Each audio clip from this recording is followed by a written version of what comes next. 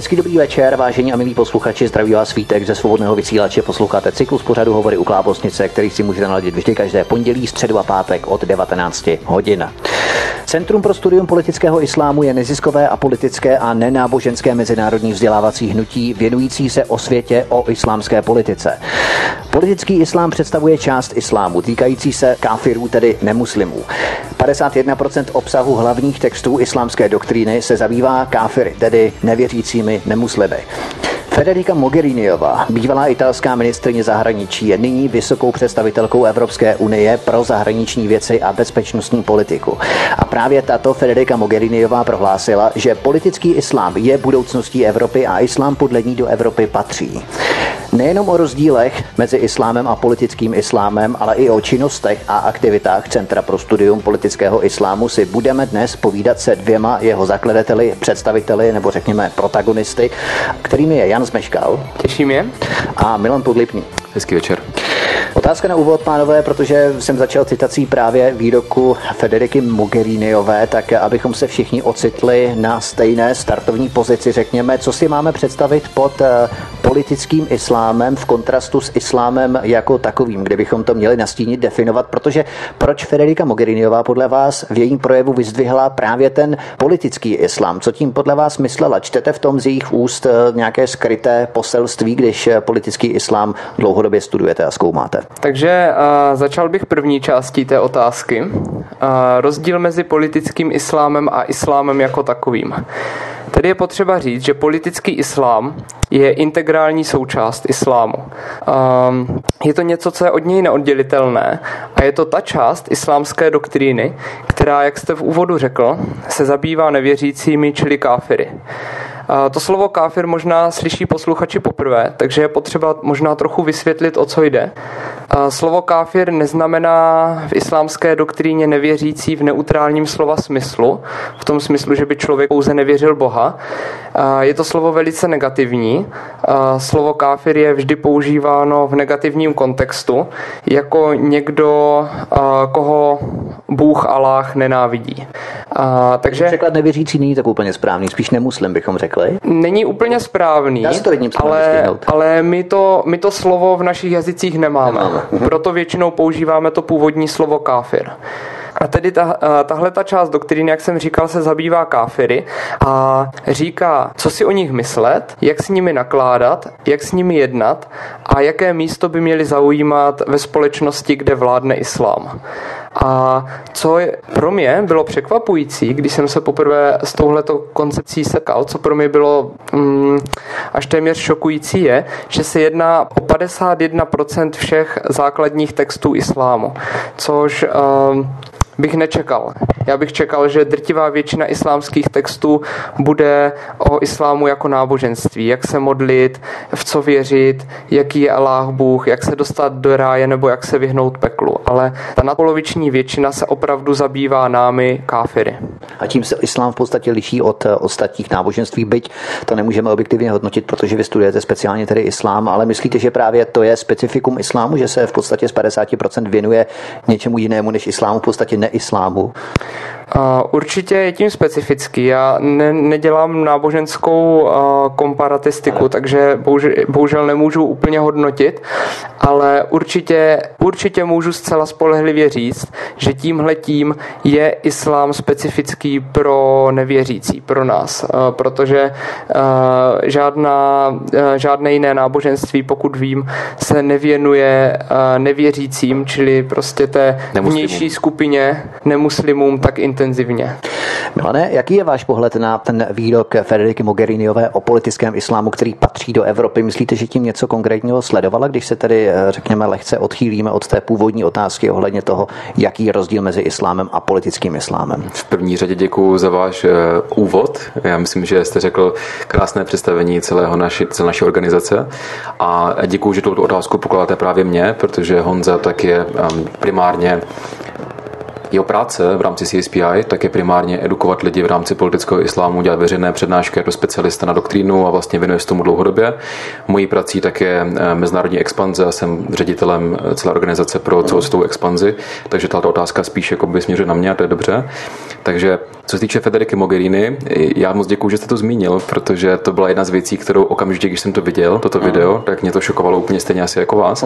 A poslal jsem to vlastně na celý tým v té době, to asi tak roka půl, kdy to vlastně zmínil na té jedné z těch konferencí, mám pocit, že to bylo někde v Severní Africe. A když to říkala, tak jsem se zajímal o paní Federico Mogherini mnohem hlouběji, protože jsem si říkal, tak to asi musí od někud pocházet. První věc mě zarazila tak je, že, že byla jednou jakoby ze členek mladých komunistů, to bylo ještě v Itálii. Velmi tvrdá, a druhá věc, mě, co mě taky uh, zarazila, je to, že ona sama dělala, dělala uh, její dezertační práci na téma politický islám a dokonce to studovala, takže, takže je to, pokud ona řekla, že politický islám patří do, takhle to ona přímo řekla, že patří do obrazu Evropy, tak uh, pravděpodobně ví, o čem mluví. Z druhé strany můžeme říct, že často politický islám, a to jsme teďka viděli, když jsme naposledy cestovali po Evropě s Billem Warnerem, což bylo před uh, asi 14 dny, tak jsme vlastně projeli Rakousko, Německo, Velkou Británii, Českou republiku a stává se poměrně negativem, že politický islám se začíná skloňovat v kruzích um, politických jako nějaká extrémní, jako nějaká extrémní ideologie, která nevychází z doktriny a spíše, spíše se označují uh, lidé, kteří praktikují politický islám slovy jako Al-Qaida nebo jako, jako Boko Haram a podobně, ale politický islám je naprosto integrální součástí základních textů islámu. A teďka jenom, aby se vrátil ob, ob, obkličkou k tomu, nebo tím mostem zpátky k té otázce, co tím sleduje, tak pokud vnímá politický islám jako, ona říká, je to integrální součástí, součástí Evropy, nebo je to součástí obrazu Evropy budoucí, tak buď to ví, co to je politický islám v tom případě a, a bere tu definici, kterou dneska většina politiků bere jako definici politického islámu, to znamená její extrémní interpretace, tak, jak to oni popisují, to znamená, že říkají, že, že je Boko Haram a Al-Qaida, tak si nemyslím, že by paní Mogherinová myslela, že tohle je součástí eh, obrazu islámu nebo obrazu Evropy.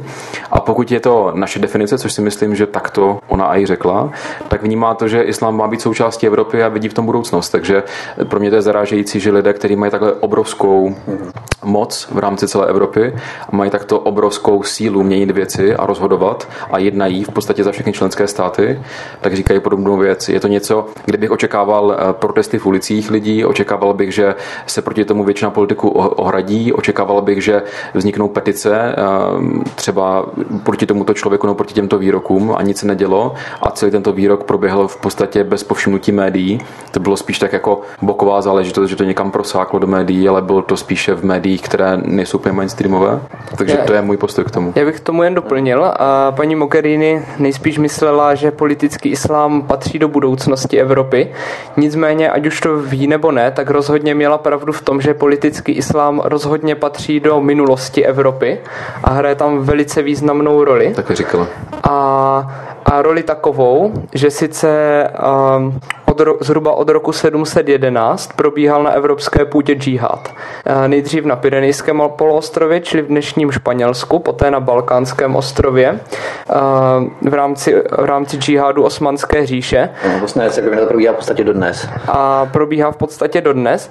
A zmiňuji to jenom proto, že my častokrát říkáme například Maurové na španělském poloostrově nebo Osmani na balkánském poloostrově. A ano, přestože to byly různé říše, tak je potřeba chápat, že ideologií, která stála za těmito válečnými konflikty, byl politický islám a kampaň, která byla vedena v těchto případech, byl džihad. Ještě k tomu dala ještě jednu věc. Je zajímavé, že když dneska otevřete texty základních škol, kde se dneska učí o islámu, nebo si otevřete texty středních škol, tak nikde není skloňováno tyto ataky, tyto výpady proti naší západní civilizaci nebo naší civilizaci, nejsou nikdy skloňovány uh, společně se slovem džihad. Takže vždycky to je bráno jako nějaký teritoriální konflikt nebo jako nějaký imperiální konflikt nebo, nebo mm, tribal, um, kmenový, kmenový. konflikt nebo něco podobného, ale nikdy to není bráno eh, jako, jako dlouhodobý jasný plán na změnu společnosti, na společnost islámskou, což byl ten hlavní plán vždycky. Milan Podlibný tady zmínil docela zásadní věc a to je právě změkčování historie, to znamená upozaďování některých událostí, které byly eh, v podstatě historickými fakty a na které bychom neměli zapomínat. A jednou z nich je právě že formy džihádu od roku 1711, jak nastínil Honza. A to je právě ta záležitost, kdy já jsem měl třeba rozhovor s bulharskými dobobranci v rámci Svobodné Evropy. A Petar říkal právě tu věc, že i ve školních učebnicích v se vymazávají historické epochy, epizody, jako je právě okupace Tureckem Bulharska a zaměňují se za jakési fráze, proklamace, které vůbec nenacvičují tomu, co se v té minulosti opravdu odehrávalo. To znamená, že je to celoevropský v podstatě kontextuální vývoj těchto událostí, vymazávání nebo změkčování, zglajšaltování těch eh, událostí v minulosti, které skutečně bychom měli mít na živé paměti. No, speciálně v Bulharsku, když se to bavíte, tak eh, tam hlavní národní hrdina, když se na ně podíváte, což je Vasiljevsky, tak to byl jeden z lidí, kteří v podstatě edukovali tehdejší společnost, teda nakonec, nakonec právě byl zabit, ale edukoval společnost bulharskou o nebezpečích politického islámu už v té době, už, už je nějaká doba. Dneska on je ten na bankovkách, má vlastní muzeum. Mě by dneska opravdu zajímalo, kolik dneska z Bulharů opravdu o tomto člověku ví a jakoby, jakým způsobem se, já to nevím, to je taková jenom řečnická otázka, kolik lidí se dneska o tom učí a vlastně v jakém souvislosti. My se potom samozřejmě v rámci postupného eh, otvírání těch témat dostaneme k tomu, co znamená přímo politický islám, na jakých principech je postavený, protože ty principy samozřejmě jsou odlišné od eh, našich hodnot, západních hodnot, řekněme. Ale druhá otázka, která s tímto souvisí s odkazem právě na výrok Federiky Mogheriniové, vnímáte tento výrok z jejich úst jako čirou kapitulaci podbízivé vlichocující se postoje, kterými se vyznačují skupiny evropských elit, nebo tím podle vás měla na mysli něco jiného? Jak vnímáte tuto její proklamaci v podstatě v rámci evropského kontextu, celoevropského kontextu? Bych si hrozně přál, eh, bych si hrozně přál, aby eh, tuto otázku jste jí přímo postavil. Já myslím, že všechno ostatně by byla čirá spekulace z naší strany. Bych se rád držel faktů a právě toho tématu politického islámu. Ohledně právě politi- to je politický islám, proto se vás na to ptám, protože vy tuto problematiku dlouhodobě studujete, to znamená, že ano. vy tam můžete číst třeba i nějaké skryté záležitosti, které běžný člověk nevnímá. Já si myslím, že nejlepší na téma Evropské unie, když se o tom bavíme, tak můžu doporučit eh, velmi směle paní Batior, která napsala knihu Eurábie. Je to jeden, je to jedno z neuvěřitelnějších žen eh, tohoto, nebo i minulého a tohoto století a doporučuji každému, kdo se, jako se zajímá hlouběji o téma eh, politického islámu a vlastně v souvislosti s Evropskou uní vůbec, tak si toto přečíst. Je to hodně obširné téma, takže to není úplně na debatu v dnešním rádiu, ale myslím si, že kdo by chtěl, tak je spoustu videí na internetu, co se můžou podívat. V češtině bohužel není překlad této knihy jako komplexní překlad. Pokud někdo by byl chtěl zainvestovat do tohoto překladu a nebo se tomu věnovat, případně já jsem si vždycky přál jednu věc, protože CSPI, naše organizace se primárně nevěnuje vztahu Evropské unie k politické politickému islámu, se politickému islámu jako takovému, uh-huh. tak kdyby někdo opravdu chtěl pokračovat v její práci, eh, si přál, aby se našel takový nějaký člověk, aby prostě ona se zastavila někde v roce 2011, 12, kdy napsala poslední knihu a bylo by super, kdyby někdo jiný, protože dneska je přes 90 let, kdyby někdo jiný ještě byl schopen tuto agendu převzít prostě a pracovat na tom dál. Uh-huh. Tak zeptám se Jana Zmeškala, za jakých okolností, když se tady vrátíme zpět k vašemu centru, za jakých okolností Centrum pro studium politického islámu vzniklo? Co vás vedlo nebo motivovalo k vytvoření této iniciativy? Byly to, řekněme, dezinterpretace, zavádějící tendenční lakování na růžovo islámu v prostoru mainstreamu nebo korporátních médií, řekněme, nebo v tom hrálo roli ještě něco jiného, ještě něco dalšího? A já pak určitě předám slovo Milanovi, protože ten stál u toho samotného zrodu, zatímco já jsem se připojil až, řekněme, o nějakého půl roku později, nebo tak nějak. Já jsem chtěl tu debatu ale... trošku strukturovat, protože Milan mluvil dlouho, tak aby jsme to trošku jako a, ale, ale můžu vám, můžu vám rozhodně předat uh, uh, zajíma, zajímavé body, které jsem, se, které jsem se dozvěděl v mých rozhovorech s doktorem Billem Warnerem, který založil tu, tu původní organizaci ve Spojených státech. To bylo kdy v podstatě, když jsme u toho? Já myslím, že v roce 2001. A... Těsně po 11. září, řekněme. Ano, Aha. protože On už, se teda, on už se teda o islám jako takový zajímal před 11. zářím, ale samozřejmě po tom 11. září eh, se ve společnosti objevila velká poptávka eh, po, po tomto tématu. A jedna z těch jeho eh, klíčových motivací byla ta, že on si vlastně uvědomil, zvlášť v té debatě po 11. září, jak málo skutečných faktů se ve společnosti o islámu objevuje. Protože ta debata o islámu byla obrovská. Po 11. září se o islámu vyjadřovali všichni, včetně amerického prezidenta, tenkrát to byl George Bush, ale v té tradici, řekněme, pokračoval i Barack Obama později. Takže všechny vrstvy společnosti se vyjadřovaly o islámu. Například uh, po 11. září byla velice populární fráze o tom, že islám je náboženství míru, nebo že to je skvělá civilizace, která přinesla uh, obrovský civilizační rozvoj. ale málo kdo nebo téměř nikdo tato tvrzení jak, vlastně nepodkládal fakty. Takže Bill Warner se rozhodl, že zpracuje všechny ty základní texty, to znamená Korán, což, je vlast, což jsou vlastně slova Aláhova údajně, Síra, což je Mohamedův životopis a hadísy, to jsou výroky a skutky z života proroka Mohameda. On se rozhodl, že ty texty zpracuje do formy přístupné běžným lidem, eh, vlastně komukoliv, aby do společnosti dostal reálné informace s nějakou substancí oproti pouhým názorům a emocím, které dominovaly tehdejší diskuzi ve Spojených státech. Ale co se týče samotného založení organizace, to bych teda možná nechal na Milana. Mm-hmm.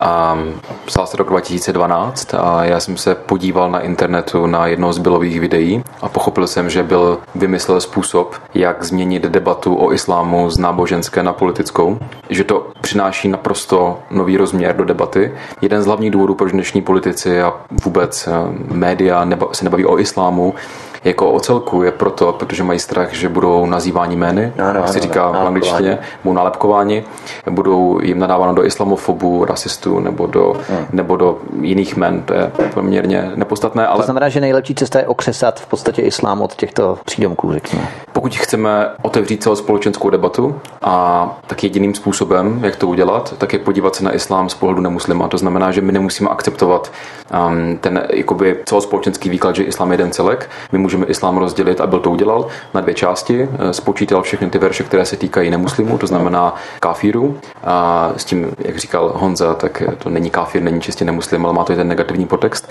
Spočítal to, zjistil těch 51%, že, že vlastně se týká nemuslimů, nazval to politický islám, takže tomu dal jasnou definici. A řekli jsme, a nás teďka teda zajímá pouze politický islám, nezajímají nás eh, muslimové, nezajímá nás náboženský islám, nás zajímá čistě politika islámu. To, jakým způsobem islám vystupuje vůči nemuslimům. No a v této chvíli, když toto udělal, tak vlastně umožnil otevřít celospolečenskou debatu. Jeden třeba, jak to můžeme krásně vidět, například v Rakousku se dneska politický islám dostal až do eh, programového prohlášení vlády, kde je definován politický islám celkem solidně. A ještě by to potřebovalo pár vylepšení, ale myslím si, že to je velmi dobré. A současně jeden z bodů je, že je, ten, ten bod se jmenuje Boj proti politickému islámu, tak to přímo v tom programu jmenuje, Kampf gegen den politischen Islam. A pak je další první věta, a to je to, že se musí prověřit základní zdroje islámu, jako například Korán, jestli neodporují zákonu o islámu. Takže to je ten jako, náboženský zákon, který byl aktualizován v roce 2014, myslím. Tak, tak. Jak to myslíte? Nevím, co tím přesně myslí. Je myšleno v tomto programovém bodu. Mě hlavně překvapilo to, že, že opravdu je tam to pochopení toho, že, že politický islám je integrální součástí základních primárních textů. To je ta no. informace, kterou bych chtěl předat. No. Takže některé, to samé se dneska děje i v Německu. Před, před 14 dny měl byl Warner, eh, jsme tam byli společně, eh, jsme vlastně byl, měl přednášku v Bundestagu, což je, což je neuvěřitelné, protože uh-huh. víte, to je, nebo byl dokonce vpuštěn do Velké Británie, což tak je jedna z věcí, protože všichni ostatní uh, lidé jeho kadence tak nebyli vpuštěni do Velké Británie, jako je třeba Robert Spencer nebo Pamela Geller. Uh-huh. Uh, on byl vpuštěn do Velké Británie a současně byl vpuštěn do Bundestagu, kde přednášel. Byl, nebyl tam s tím vůbec žádný problém, protože politický islám bavit se neemocionálně, bavit se jasně, fakticky, bez zapojování a zapojování náboženského části, tak v podstatě umožňuje celou společenskou debatu, která je čistě politická. No a teďka, když jsem to viděl, tady tohleto, a zjistil jsem, že tohle je ta možnost, že vlastně on našel ten klíč, jakým způsobem zacházet s islámem v naší společnosti tím způsobem, aby nepoštoval člověk proti sobě masy lidí, ale současně se kriticky tomu věnoval, podíval se na to a byl schopný to kritizovat třeba, nebo chválit, to je úplně jedno, ale podívat se na tu část islámu, která se týká nemuslimů. No a to mě fascinovalo, takže jsem říkal Bile, jsem mu napsal e-mail, pak jsme se zavolali a v roce 2014 jsme se rozhodli, já jsem mu říkal, že bylo super jeho myšlenky institucionalizovat, že on je jeden a má nějaký věk a že by bylo super, abychom rozšířili jeho aktivitu po celém světě. A dneska tak plánujeme eh, otevřít pobočku CSPI v každé nemuslimské zemi na světě a konkrétně i potom licencovaná města v rámci, v rámci um, různých skupin uh, v různých státech, tak abychom byli schopni opravdu networkovat celý svět a dělat tu samou aktivitu, která my děláme v České republice, třeba v Německu nebo v Maďarsku Maďarsku, abychom byli schopni dělat po celém světě. To znamená, že založení CSPI, respektive Centra pro studium politického islámu, nebyla žádná spontánní událost nebo záležitost. Kolik vás na začátku bylo, kteří jste Centrum pro studium politického islámu založili a kolik vás je nyní v rámci týmu nebo realizačního, řekněme, týmu hmm. celého centra nebo hnutí? Co si... Jenom ať se trošku prostřídáme, nechám samozřejmě Milana odpovědět, protože ten uh, tohle ví nejlíp, ale uh, jenom bych doplnil takovou uh, zajímavost, která, která by mohla přijít posluchačům zajímavá. A jak Milan řekl, tak Bill Warner opravdu našel způsob, jak kritizovat uh, islám nebo bavit se o islámu jako o politické ideologii, což je velice důležité, protože uh, stejně tak dobře můžeme kritizovat například uh, komunismus a nikdo by s tím neměl mít problém v demokratické společnosti. A jednou jsem se byla Warnera zeptal, jestli díky svojí kritice islámu dostal nějaké výhrušky smrti nebo nějaké výhrušky fyzickým násilím. karikaturista a tak dále, že? A on mi řekl velice zajímavou věc, že nikdy ne od muslimů. Aha. protože vlastně on jediné, co dělá, je říká to, co je v textech islámu. Aha. Ale teď opět přidám slovo teda Milanovi. V podstatě neříkáme nic jiného, ještě dokončím tu myšlenku, že vlastně, když my vzděláváme, protože ten slogan, jak jsme teďka dali dohromady po dlouhé době, tak je, že nemuslimové učí nebo vzdělávají nemuslimy v tématu politiky islámu. To znamená, že my v podstatě neříkáme nic jiného, než by pravděpodobně říkal nějaký imam, akorát to říkáme jako nemuslimové nemuslimům a říkáme pouze tu politickou část, která by nás měla zajímat a měli bychom to rozšířit. Ještě bych ještě, ještě vyjádřil k jedné věci, že naším cílem není a priori kritika, to ať potom lidi ponechají na sobě. To, co my děláme, je, že my říkáme ty informace tak, jak jsou, a potom lidé se můžou svobodně rozhodnout, jestli to je pro ně akceptovatelné nebo ne a co s tím budou dělat. Jo? A co se týče té organizace, a ta otázka byla, jestli můžete jenom zopakovat, tu otázku ohledně té organizace, vy jste se ptal, uh, kolik nás je, kolik nás kolik je. je ano, kolik vás bylo na začátku, kolik vás byl já a byl, napřed byl byl, napřed byl byl, ne, napřed byl Mohamed, tak. jo? tak ten, ten to jakoby způsobil, že no, napřed byl Allah, tak. ne, dobře, ano, ano. já teďka si dělám legraci, ale, ale první byl Bill, který vlastně založil v podstatě ten myšlenkový pochod a vyvinul ty metody. S organizačním konceptem jsem přišel já a pak jsem byla přizval do České republiky, kam přiletěl. Založili jsme franchisingovou centrálu v Česku, jako šinická organizace. A takže dneska... 2014, 2014 no. tam máme vlastně sídlo v rámci Brna a ta vlastně um, licencuje nebo franchisuje ostatní, ostatní státy a další no. pobočky, a, které vlastně pracují pod stejným logem, dělají tu samou aktivitu. Takže tak. Změnila se třeba nějak bezpečnostní situace? Ještě poslední otázka před písničkou. Bezpečnostní situace ohledně pobývání byla Warnera právě v České republice v tom roce 2014 a nyní? Myslím, že vůbec. Vůbec.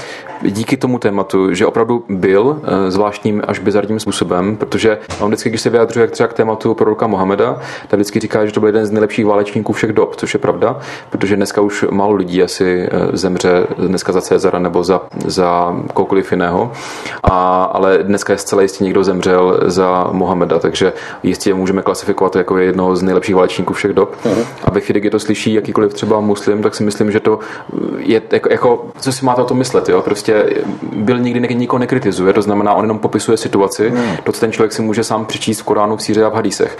Díky tomu ta bezpečnostní situace je, je nikdy jsme neměli ochranku, nikdy jsme ho nepotřebovali, protože vždycky si vyjádřujeme velmi slušně. Uh-huh. A v debatě tak jenom popisujeme situaci taková, jaká je. Honza je v té situaci hlavně, protože on dělá veřejné přednášky, takže si to může říct něco ty. Ty jsi v té situaci, kdy v podstatě chodíš na přednášky a vystavuješ eh, tvář a prostě mluvíš s publikem. Myslím, že tam jako rozdíl mezi Honzou a Billem Warnem asi nebude nějak jako významný ve smyslu, ve smyslu eh, rizikovosti. Jo? Uh-huh, uh-huh. Já jsem teda nikdy zatím naštěstí uh, žádné takhle fyzické ohrožení nezažil během té přednáškové činnosti a myslím si, že to je opravdu do velké míry kvůli tomu, co říkal Milan, že my do toho učení nic nepřidáváme, uh, nehodnotíme ho, uh, my jen děláme, jak to kdysi pěkně vyjádřil Bill Warner, z tlustých, složitých knih, tenké přehledné knihy aby prostě k tomu učení měli přístup všichni lidé v těch demokratických společnostech, které o to mají zájem. Takže Když se ještě vrátíme k těm vašim besedám, jaká skladba lidí většinou navštěvuje vaše přednášky nebo semináře, protože eh, můžou tam přijít lidé, kteří eh, chtějí něco vědět o islámu, chtějí se edukovat, chtějí být vzdělávání, řekněme, ale eh, setkali jste se třeba někdy i s tím, spíše tato otázka je směrovaná na Jana Zmeškala, setkali jste se někdy s tím, že tam přišli takzvaní trolové, kteří chtěli nějakým způsobem narušit nebo rozbourávat tu diskuzi, řekněme, kladením nepříliš konstruktivních otázek a tak podobně? A s tím jsem se samozřejmě setkal. Vždycky je těžké posoudit, jak moc je to záměr a, a, a jak moc není. A nicméně, nicméně ta drtivá většina lidí, co chodí na přednášky CSPI, jsou běžní občané, tak jako já nebo vy, kteří uh, se o toto téma chtějí, kteří o tomto tématu chtějí získat solidní informace. A jsou různých uh, věkových skupin, růz, různých profesí. Asi bych těžko nějak definoval, kdo tam chodí nejčastěji. Co mě trošku mrzí, uh, že tam uh, nechodí moc mladí lidé, nebo troufám si říct, že je to asi nejmenší skupina, která na přednášky chodí. Nicméně, nicméně takhle to vypadá. Dnešním vysíláním nás provází Jan Zmeškal a Milan Podlipný z Centra pro studium politického islámu a povídáme si právě o principech, o politickém islámu, jaký je rozdíl mezi ním a islámem jako takovým. Od mikrofonu vás zdraví Vítek ze svobodného vysílače po písničce po hudební pauze pokračujeme dál. Hezký večer. Dnešním vysíláním nás provází stále Milan Podlipný a Jan Zmeškal z Centra pro studium politického islámu a my budeme pokračovat v naší debatě dále. Je dnes podle vás obtížné získávat informace nezatížené snahou vykreslit islám jak pozitivně pozitivně, tak negativně, o což se eh, vy v podstatě snažíte. A i z těchto důvodů jste vznikli, vaše centrum. To znamená, jak vnímáte ono informační spektrum, eh, jaký proud převládá podle vás eh, v rámci islámu jako takového, protože to byl v podstatě hlavní ten důvod, proč jste začali franšízovat tuto pobočku v České republice. Milane. No, já jsem právě ukazoval na Honzu, aby se tomu začal věnovat, ale každopádně já odpovím. Nebo Honzo, to bude, to je tvoje téma. Um, já si myslím, že ta situace se bohužel výrazně nezměnila, že pořád není úplně běžné, že by se ve společnosti eh, vyskytovaly solidní informace o islámu. To je na jednu stranu, ale na druhou stranu eh, si myslím, že ta poptávka po nich roste a naše aktivita se rozšiřuje, takže je to čím dál běžnější. Asi to nedokážu nějak kvantifikovat, ale můžu říct s jistotou, že se mi čím dál častěji stává, když slyším mluvit nějaké politiky nebo například veřejné osobnosti a slyším, jak z jejich úst vychází tyto faktické informace o politickém islámu, které my šíříme, a že mi to dělá velkou radost a že je to je v čím dál častější. Já bych tu otázku možná překlenul a trochu i rozvedl a směroval bych to právě na Milana Podlipného. Jsou podle vás lidé, myslím lidé, kteří se o islám zajímají jenom skutečně povrchně do té míry, do jaké je ovlivní například eh, migrace z muslimských zemí, teroristické útoky, o kterých slyší v médiích a tak dále. Když spatřujeme stoprocentní afinitu mezi pachateli teroristických útoků a islámem objektivně jako náboženstvím, eh, je to podle vás dostatečný informační konstrukt nebo jde o zkreslené, předpojaté hledisko klástrovnítko mezi teroristy terorismus a islám.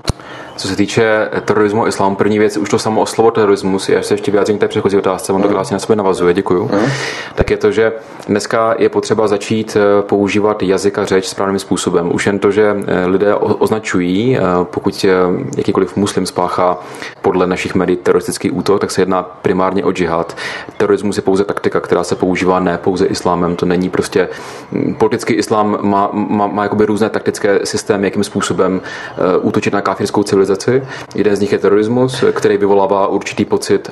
Chcete Já vás především, Milane, vy říkáte na káfirskou civilizaci, ale teroristické případy nebo teroristické útoky probíhají i v zemích, kde islám stoprocentně vládne. To znamená, není to pouze v káfirských civilizacích. Musíme si říct vlastně, co se vlastně děje. Pokaždé, když se dostává politický islám k moci v jakékoliv zemi, obecně, když jakoby se tomu říká, byl krásně gravitace Mohameda, to znamená, že lidi se přiklání čím tím víc, jakoby jednoduše čtou víc texty, které mají svoje primární, tak se děje čím tím víc v těch zemích, a typicky třeba islámský stát, že jaký byl, nebo kdekoliv jinde, tak se děje, dějí džihadistické útoky, já to budu nazývat teda džihad, já to nechci nazývat teroristické útoky, protože jedná se o ozbrojený džihad, nikoli o terorismus, to je pouze ta taktika, to jsem chtěl tam zmínit. Tak eh, první věc, co se děje, tak se takový očistný džihad, se tomu říká. To znamená, že lidé, kteří se odklonují od příkladu proroka Mohameda příliš, tak se vlastně stávají eh, odpadlíky od víry a díky tomu jsou zabíjeni. Takže primárním účelem tohoto džihádu, tak je to očistný džihad. Takže furt a stále, tak se jedná z pohledu, z pohledu politického islámu o odpadlíka od islámu nebo lidi, kteří nějakým způsobem se odklonují od základní principů islámu a díky tomu jsou zabíjeni právě v muslimských zemích. Takže pokud my si myslíme, že to je samozřejmě může ještě jiné důvody, ale primární je vždycky očistný džihad. Honzo? A tady tě jenom doplním vsuvkou z doktríny a z historie. V islámské doktríně je zcela jasně řečeno, že za odpadlictví od islámu, to znamená pokud se někdo rozhodne, že již nechce být muslimem, tak je trest smrti. A to je bez jakýchkoliv pochyb řečeno na mnoha místech, ať už v Koránu nebo v hadísech. A to je ta doktrinální vsuvka, takže, takže nemělo by nás udivovat, že například islámský stát zabíjí primárně muslimy, protože to jsou e, všichni muslimové, e, které ten islámský stát považuje za odpadlíky, protože nepraktikují islám dostatečně důsledně. To znamená, nenásledují příklad proroka Mohameda dostatečným způsobem. Když se oni můžou vědět, že právě ty, na které budou páchat teroristický útok, takže zrovna to jsou ti, kteří nedodržují islám v těch, těch důsledných podobách. Jednu jednoduše čtete příklad proroka Mohameda, to znamená čtete hadísy, to jsou krátké tradice, a čtete, a čtete jeho životopis, síru, a podle toho krásně si dokážete vytvořit měřítko toho, jestli ten člověk se chová jako řádný a správný muslim, nebo se nechová jako řádný a správný muslim. Takže v tohoto pohledu, tak politický islám v první řadě, v první řadě oběťmi politického islámu jsou právě muslimové, nebo ti, kteří se za ně považují, ale nejsou dostatečnými muslimy.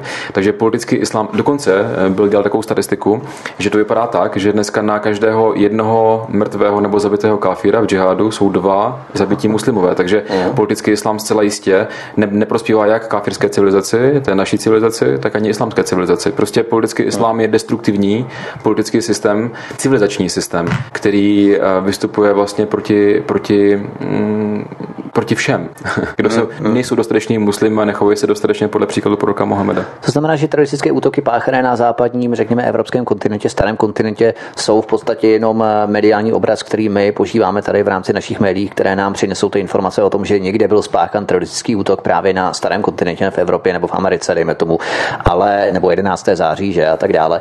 Ale v podstatě to je jenom ta špička ledovce. Teroristické útoky jsou páchány denodenně v muslimském světě, ale to už nám média nepřináší ty informace. To znamená, my nabýváme falešného dojmu, že terorismus je jakoby nástrojem proti naší civilizaci, ale v podstatě je to primárně tedy určeno pro muslimy. Je to prima... no, jestli můžu... Já bych tady opravdu chtěl podtrhnout to, co Milan říkal, a trochu to rozvést. Samozřejmě ten terorismus se jak ve Spojených státech, tak v Evropě odehrává. Odehrává se mnohem víc například na Blízkém východě, jak jste správně uvedl.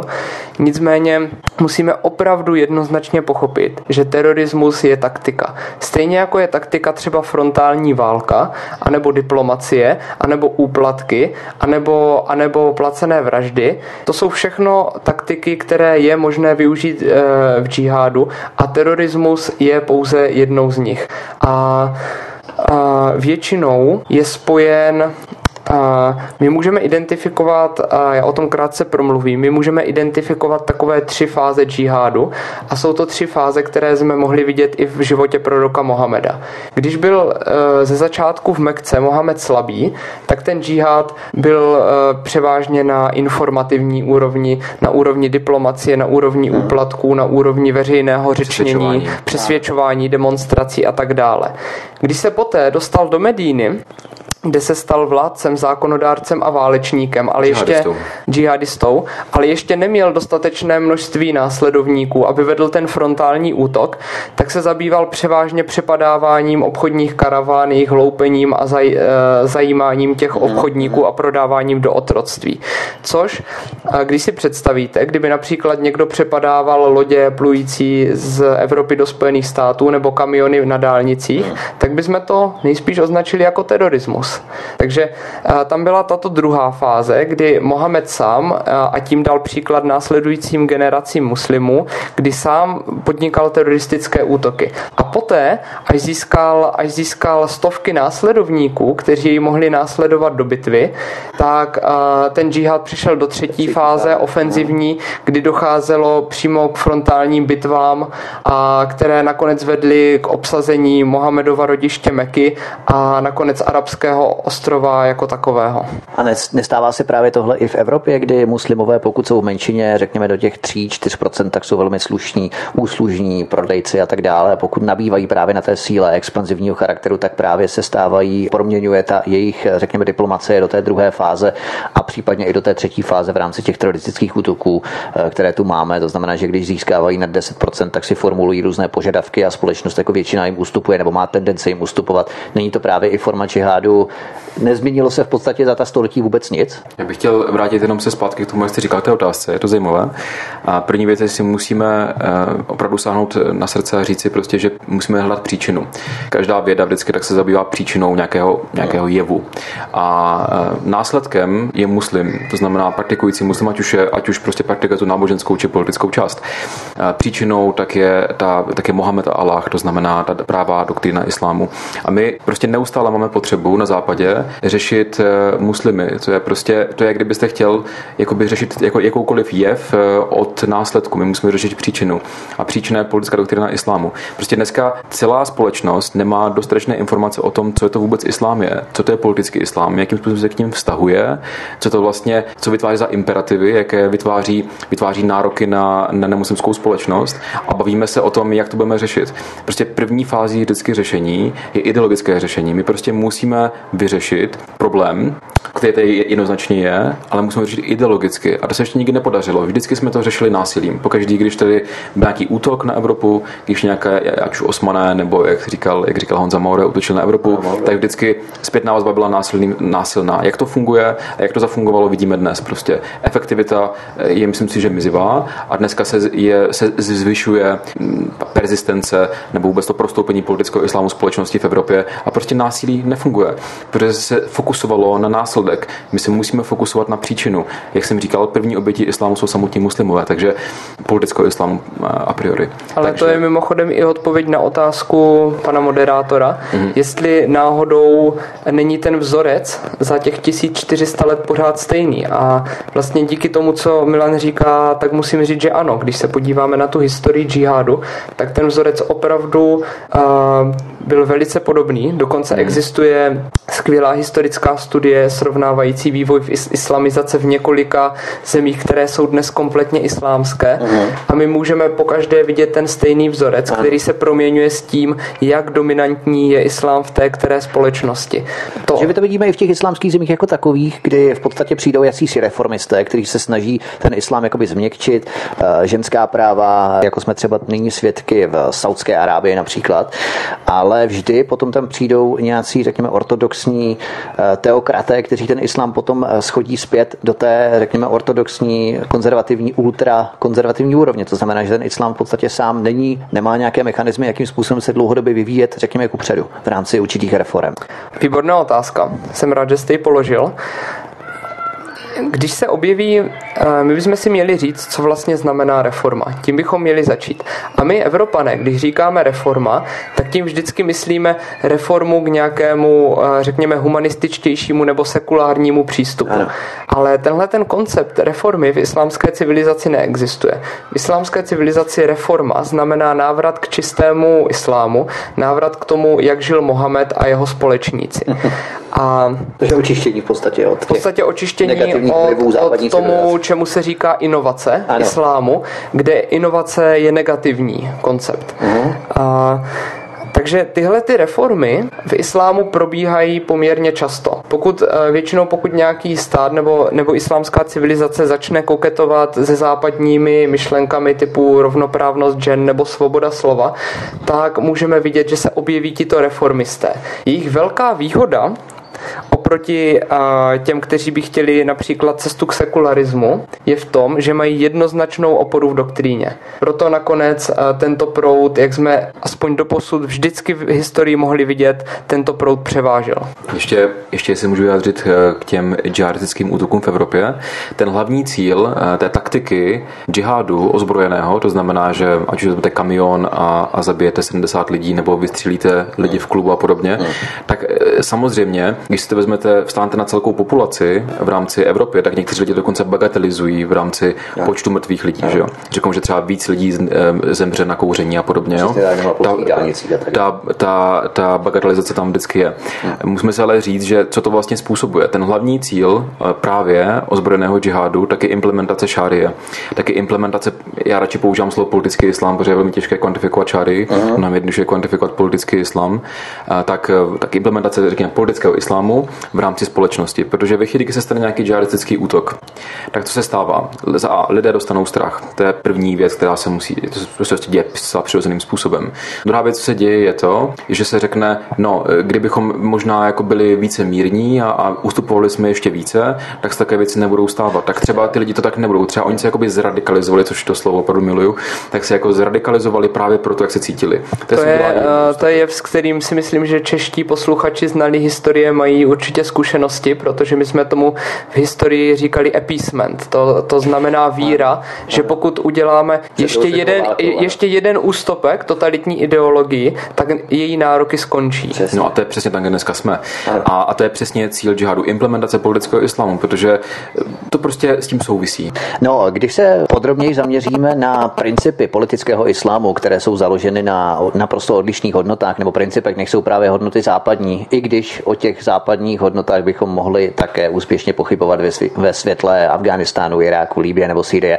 Začnu ale otázkou, možná pro vás obova, to si potom rozvrhněte, kdo na to bude chtít první odpovědět. Máme my jako Západ se svými dobyvačskými rozpínavými choutkami vůbec právo kritizovat hodnoty jiné? Abych to vysvětlil, měli jsme během staletí mnoho muslimských nájezdů, ať Maurové ve Španělsku, kterých jsme tady mluvili, anebo Turkové u Vídně a tak dále. Zatímco dnes zase my útočíme na Afganistán, tu na Irák, Líbii nebo Sýrii. Běžný člověk by mohl namítat, nebo běžný like by mohl namítat, když potom srovnáváme tyto historické epizody nebo epochy, tak by mohl namítat, že si přece nemáme co vyčítat. Co byste odpověděli takovému člověku?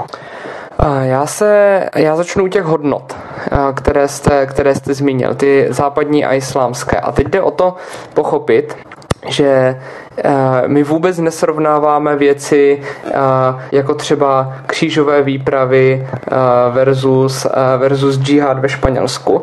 My se zaměřujeme na ty základní hodnoty politického islámu, které můžeme srovnat se základními hodnoty západní civilizace. A přestože dnes je taková oblíbená mantra, že my jako západní civilizace žádné hodnoty vlastně nemáme, to je mimochodem něco, co velice často slýchávám od posluchačů na svých přednáškách, mm. tak já musím říct, že tohle to prostě a jednoduše není pravda. My totiž máme hodnoty, které jsou často definované absencí nějakého útlaku. Například svoboda slova je definována absencí nějaké myšlenkové diktatury.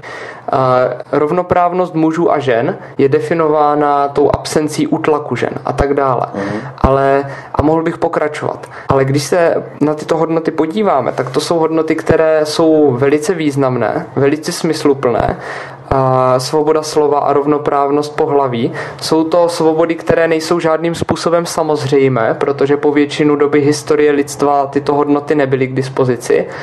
Jsou to hodnoty, které byly našimi předky těžce vydobité na různých formách totalitarismu anebo, anebo prostě feudalismu.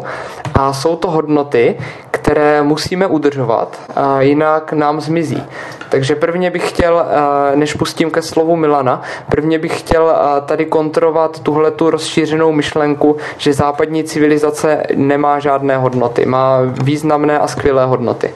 Milané, máme si něco vyčítat v rámci dobývání cizích území, rozpínavosti, expanze? No, já bych ještě se rád jenom dokončil tuhle tu myšlenkovou no. ideu, ten konstrukt. První věc je to, že, že um, spousta lidí, jak říká Honza, tak uh, se právě cítí, že bychom měli třeba cítit, uh, cítit, jak tady říkal teďka, bychom měli cítit špatně z toho, co jsme dělali historicky. První věc je to, že dneska, to je, jak kdyby se dneska každý Američan měl cítit uh, špatně za, za trh s otroky, nebo ano, ano. jak by se měl cítit špatně, já nevím, řekněme nějaký, nějaký historický příklad, jsi ten historik. On no, nakonec, nakonec já můžu použít takový velice aktuální příklad. Například, proč by se uh, dnešní němec, německé děti nebo mladí lidé a. měli špa, cítit špatně za druhou světovou válku. Přesně tak, to předchozí generace. Ale já jsem právě vybíral záměrně, uh, řekněme, epizody nebo válečné, uh, válečné epizody, které se soustředí na moderní dobu, to znamená 10 let, maximálně zpátky nebo 15 let. Mm. Jo, nebudeme tady ospravedlňovat teroristické útoky, protože křesťané nikdy před deseti staletími páchali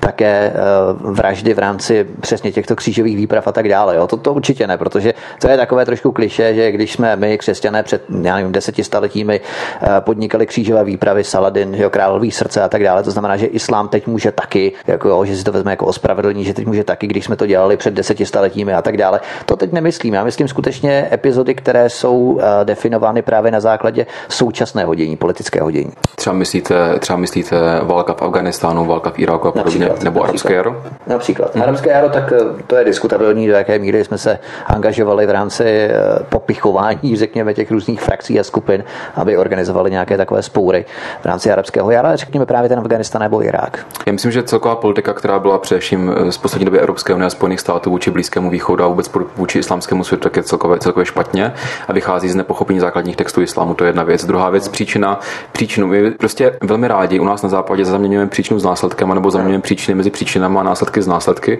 Bylo by dobré, abychom si uvědomili, jaká je příčina. Ve chvíli, kdy člověk se opravdu podívá do textu eh, politického islámu a do základních textů, tak vidí, že to, co se dneska děje, tak eh, ať to, jak se kdo chce ospravedlňuje, tak je to eh, základní učení, je to v základních textech politického islámu a to, co dělal Mohamed, tak to se dneska děje u nás. To znamená, žádným způsobem to nesouvisí, ať už to kdokoliv může říkat. Zajímavé je to, že pokaždé, když tito lidé toto spáchají, tak povětšinou vždycky se odvolávají právě na ty primární texty. Když se podíváte na, na časopis islámského státu, tak to je jeden z nejlepších školících prvků politického islámu, který můžete vůbec naleznout. Rumia, no. Dabik. Dabik se jmenuje. Dabik, aha. No, takže, takže vždycky, já bych nerad, abychom zaměňovali příčinu s následkem a, a ta příčina vždycky je také Mohamed a je Allah v rámci a, útoku na naši západní civilizaci. Já bych tedy rozhodně nechtěl a se vyjadřovat k zahraniční politici, politice Spojených států nebo tak, ale je velice důležité si uvědomit, si, uvědomit že džihad tu byl eh, tisíc let před vznikem například Spojených států. Přesně. A není důvod si myslet, že by tomu dnes bylo jinak, kdy, eh, kdybychom například, kdyby například neproběhla ta která výprava. A jak říká Milan, a, ti lidé aktivní v džihádu se téměř vždy odkazují na zdroje politického islámu, ne na současnou Korán, geopolitickou síru, situaci. Hadísi. Protože uh, ta geopolitická situace se mění relativně rychle, tím myslím v rámci třeba dekád, ne, ale ten džihad jak, jak jste řekl uh, před nedávnou dobou, ten zůstává pořád stejný. Hmm.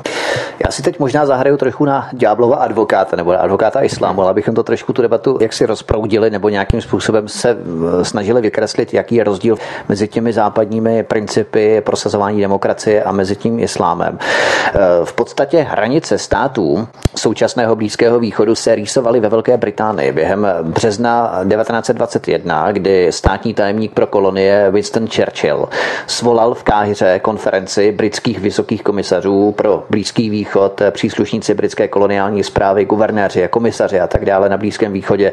Lawrence Arábie můžeme jmenovat, Gertruda Belová, eh, generál Edmund Allenby, to byl vysoký komisař eh, Egypta a Súdánu, já nevím, Orden Wingate, eh, Hubert Young, to byl zase první ministr v Bagdádu a koloniální sekretář Gibraltaru, Percy Cox, což byl zase vysoký komisař království Iráku, třeba podle Coxem podepsané smlouvy zůstal Irák po dlouhá desetiletí plně pod britskou kontrolou například a byl jednou z hlavních postav v podstatě při tvorbě současné situace na Blízkém východě, Herbert Samuel, první vysoký komisař eh, britské mandantní Palestiny a tak dále. Nemáme tedy jaksi my máslo na hlavě, nebyl to právě Západ, který rozdmíchává nepokoje na Blízkém východě a nyní sklízíme v podstatě, co jsme zaceli. Myslím ryze politicky teď, když se bavíme o politickém islamu, protože tohle je v podstatě politika. To není válčení, to je v podstatě politika politika. A, dobrá, a, já vám a, možná položím proti otázku, aby jsme tady debatu rozproudili. A, když se podíváme na mnohé a, balkánské země, jako třeba Rumunsko, Bulharsko a tak, a tak dále, ty byly ještě častokrát na konci 19. století pod nadvládou Osmanské říše, a, která byla poměrně krutá. Určitě jste slyšel o zajímání dětí a jejich odvádění na dvůr sultána a tak dále, a, zajímání sexuálních otroků. Velké oblasti Evropy, například Jižní Rusko, o čemž se dnes málo mluví, museli čelit otrokářským nájezdům právě z Osmanské říše. Byli tam zajímáni otroci po tisících, kte, kteří poté byli odvlečeni do Istanbulu, kastrováni a tak dále a tak dále. Mohl bych pokračovat dlouho. Tohle, tyhle ty věci se ještě děly v 19. století. A schvaloba, schvalovali bychom, kdyby dnes například Bulhaři a Rumuni jezdili na dovolenou do Turecka, řekněme, a páchali tam sebevražedné útoky nebo, nebo prostě takové útoky na turecké civilisty. Připadalo by nám to jako legitimní způsob politického nesouhlasu? To je, tako, to je samozřejmě řečnická otázka. Jasně. Protože Jasně. myslím si, že většina posluchačů by se shodla na tom, že ne. Stejně tak jako my, dnešní Češi, nejezdíme vraždit Němce na ulicích Německa, protože nás Německo okupovalo za druhé světové války. Hmm. Takže eh, já za tímto argumentem uh, vidím pouze snahu, jak si odebrat, odebrat, sna, odebrat uh, tu vinu nebo uh, odebrat fokus uh, z toho islámu, z té doktríny a nasměřovat ho někam jinam speciálně na naší civilizaci. Mm. Protože to je, co se děje velmi jednoduše. Já ještě jenom se chci taky nejvěci vyjádřit, ještě no. jsme se tam bavili, něco napadlo k tomu, je, že v podstatě je jasné, že naše civilizace dneska zažívá určitou krizi, krizi identity a, a krizi ne ztráty hodnot, ale prostě jenom jejich neuvědomování, například, jak říkal Honza. A spousta lidí říká, jako, že vlastně to jako civilizace zasloužíme teďka, že v podstatě jsme, jsme měněni na, na civilizaci islámskou. A je potřeba určitou příčinu toho problému. A dneska spousta lidí určuje za příčinu problému právě, právě tu naši jako měkost nebo, nebo tu ztrátu, ztrátu té jasnosti v hodnotách a podobně. Ale představte si situaci, že by tady neexistoval islám vůbec, nebyl by na celém světě a naše civilizace by procházela nějaké krizi identity a měla by nějaký problém. Jo? Pravděpodobně by tam byl jako vždy nějaký propad, ideologický, možná, možná hodnotový a potom by se to vždycky vrátilo zpátky, je to taková sinusoida jako vždycky. Ale ten prvek politického islámu ve chvíli, kdy civilizace je slabá a nedokáže se podívat sama sobě do očí a říct si prostě, kdo jsme, jak fungujeme. To znamená, že islám nám nastavuje zrcadlo. Já myslím, že určitě. A nevím, jestli nám přímo nastavuje zrcadlo, možná svým způsobem taky, určitě ale hlavně z naší současné krize, kterou tedy možná procházíme, eh, činí velice vážnou záležitost. Jak říká Milan, kdyby se ta krize odehrávala ve váku, tak e, můžeme víceméně spohodlnět a udělat si z toho takové zajímavé intelektuální cvičení. Nicméně, nicméně my jsme e, tímto pod mnohem větším tlakem. A je hmm. dobré si uvědomit, že pokud e, víte něco o historii, tak víte, že po smrti Mohameda se islám víceméně explozivně rozšířil na Blízkém východě, přestože měl relativně málo, relativně špatně vyzbrojených válečníků, tak velice brzo, velice rychle získal velká území od uh, byzantské i perské říše.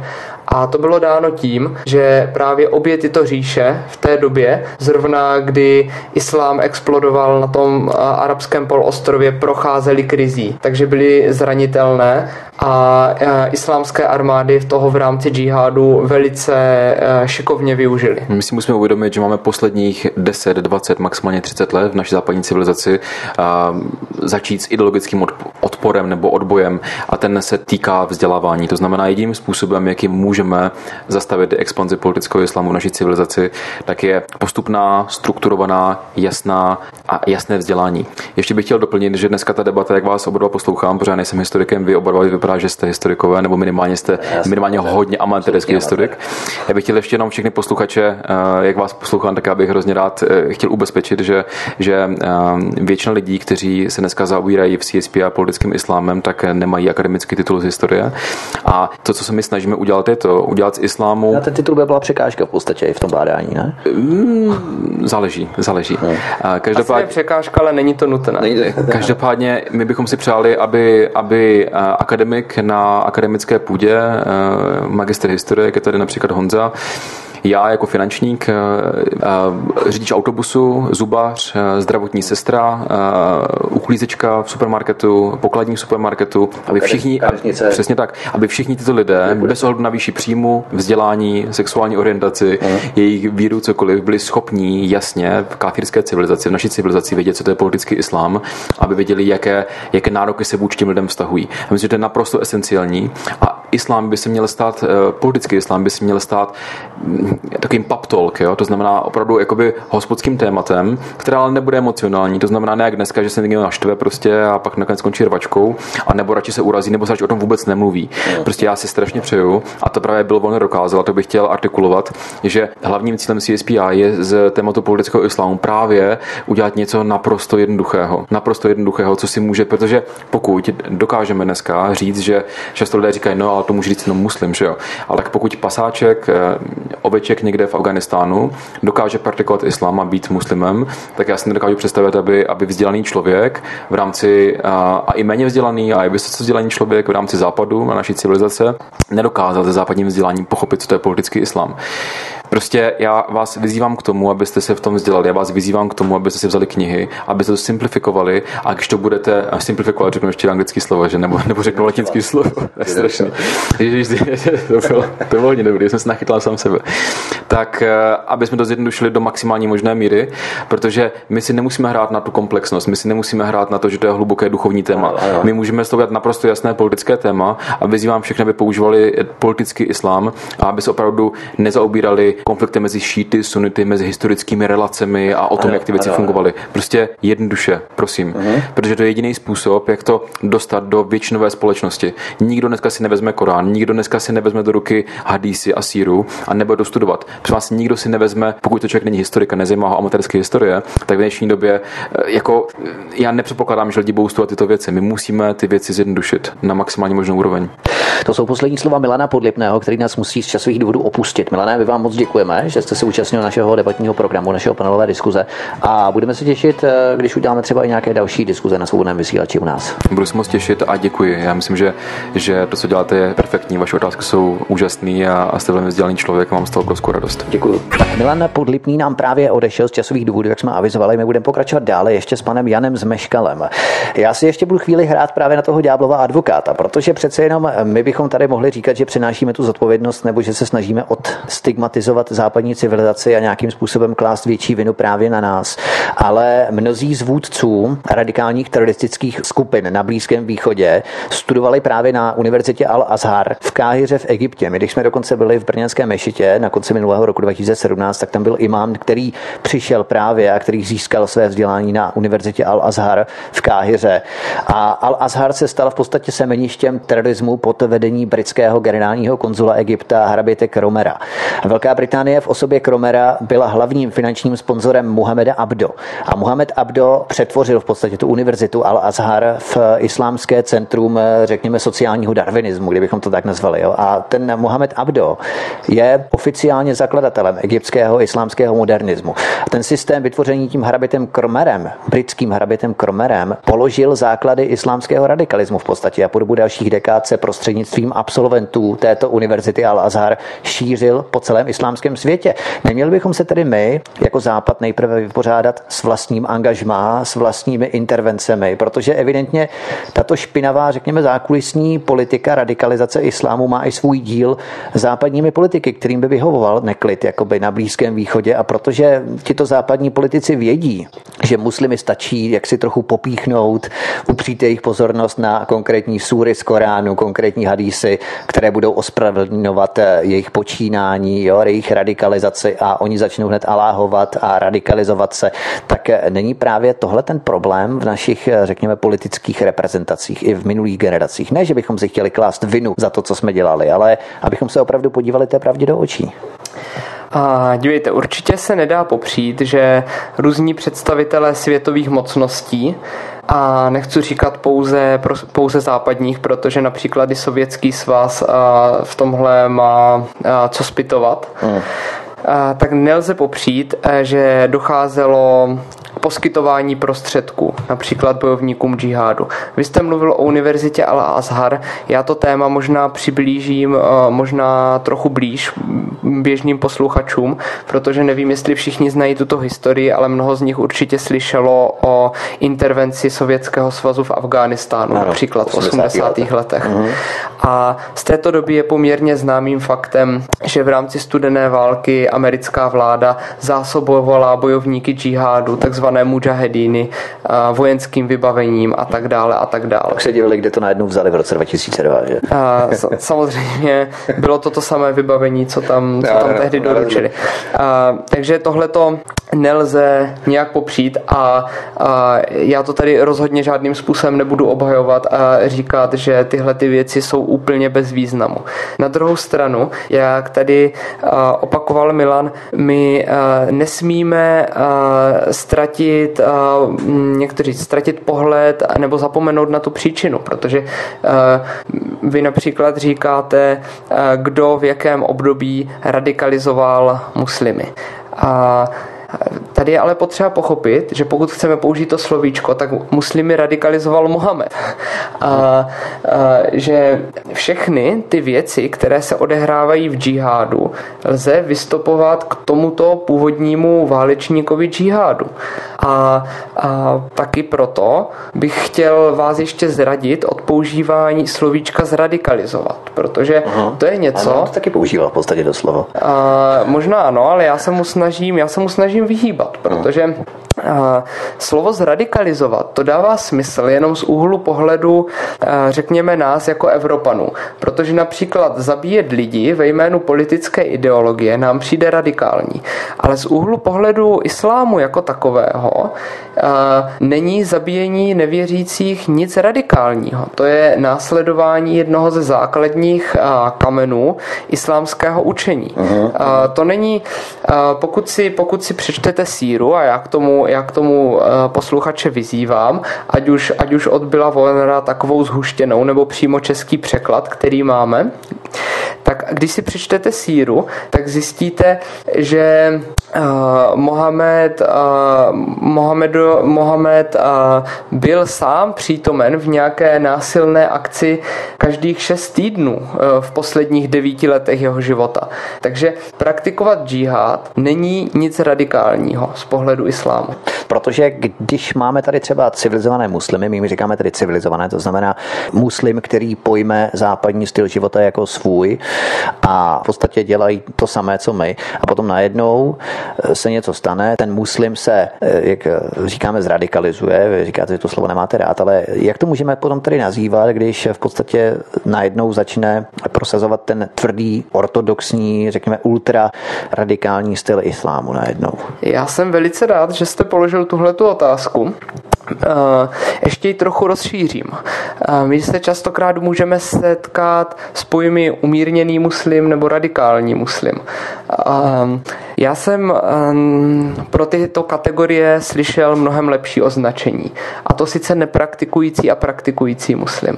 Protože často se na západě stává, že se narodí například člověk do muslimské rodiny, jeho tatínek si říká muslim, jeho maminka si říká muslimka, ale vlastně už s tím, uh, už s tou ideologií nemají žádný kontakt, říkají si tak prostě, protože i jejich rodiče si tak říkali, takže tenhle ten člověk si tak taky začne říkat, ale vlastně uh, je to nějaká jeho kulturní identita, ale s tím samotným učením možná za celý život nepřijde do styku. Uh, takže to je uh, nepraktikující muslim.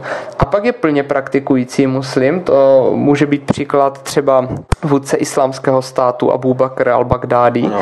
který se snaží plně emulovat nebo plně napodobovat život proroka Mohameda. A mezi tím máme celou škálu různě do různé míry praktikujících muslimů. Od 0% Aha. proroka Mohameda až po 100%.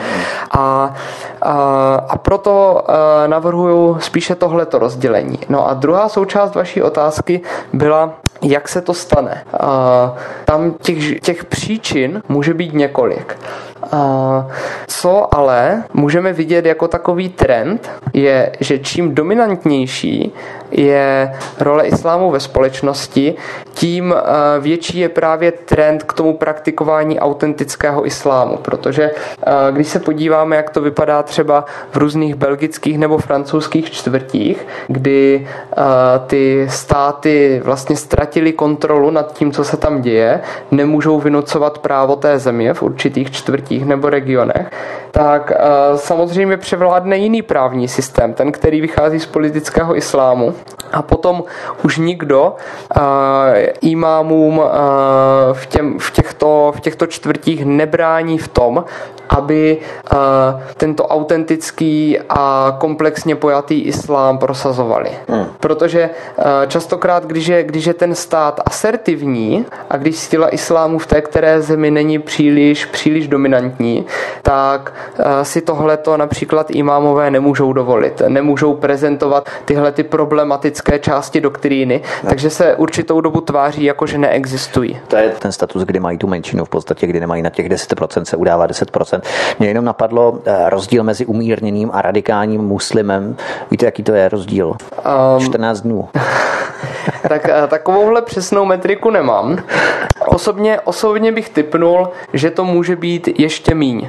Eh, jak říkám, pokud, pokud použiju tu škálu od 0% napodobování Mohameda až po 100% hmm. napodobování To znamená, Mohameda. že každý muslim je v určitém stádiu vývoje k tomu životu Mohameda. Jakým způsobem to praktikuje, co si vybere z toho jeho života, co je ještě ochoten snést a co ještě ne. A v podstatě k tomu člověk musí zaujmout nějaké stanovisko. Nebo jak jsem říkal, možná se mu poštěstí, že nikdy s touhletou ideologií nepřijde ve skutečnosti do kontaktu a tím pádem si může celý život říkat muslim a nikdy vlastně se k té praxi nedostat.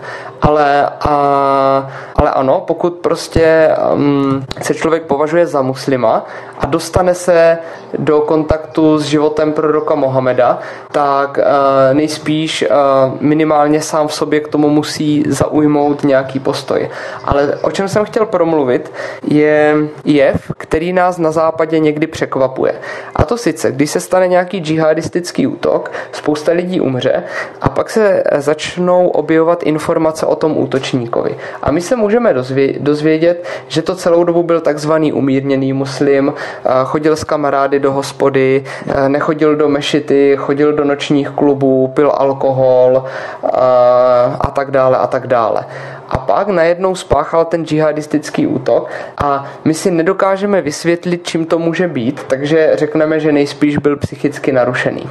To je opět výklad, který vychází z neznalosti té doktríny, protože Mohamed na mnoha místech, obzvláště v hadísech, zcela jasně říká, že i kdyby člověk žil jakkoliv hříšný život, tak se může vykoupit, tak se může vykoupit tím, že Aha. zemře v džihádu. Aha. Kdo zemře v džihádu, podle islámské doktríny, neprochází žádným posmrtným soudem, ale uh, jde automaticky do ráje. Takže tohle je, uh, tohle je něco, co u těch uh, džihadistických útočníků můžeme vidět velice často, že dokonce třeba i večer před tím samotným útokem navštíví nějaký noční klub nebo něco podobného, protože vědí, že již následující den bude vše smazáno. Mm, se smaže všechno, rozumím. My jsme trochu odběhli, pojďme se vrátit tedy k vašemu hnutí Centru pro studium politické politického islámu. Po založení hnutí jste samozřejmě stáli před základní otázkou, kterou řeší jakékoliv hnutí, iniciativa, spolek, združení a tak dále. To znamená, jak vstoupit do povědomí veřejnosti. Jednoduše marketing. Nejdříve ale musí být za podobnou iniciativou, jako je ta vaše vidět kus práce. A to už se plynule dostáváme k tomu, jaké činnosti nebo aktivity jste začali rozvíjet, tak abyste materiály poskytovali i na webové platformě pro, řekněme, zvídavou veřejnost, aby se obeznámila s vaší činností činností, čili jak se o vás měli lidé šanci dozvědět? A, tak my samozřejmě se snažíme působit na několika frontách zároveň. Myslím si, že stále i dnes jsou naším nejdůležitějším kanálem knihy, jejichž autor je doktor Bill Warner, které jsme od toho roku 2014 přeložili do ohromného množství jazyků. Já bohužel teďka z hlavy neznám ty čísla, ale pokaždé, když to slyším od té naší vydavatelské skupiny, hmm. tak, tak jsem tím fascinován, v kolika jazycích jsou naše knihy k dispozici.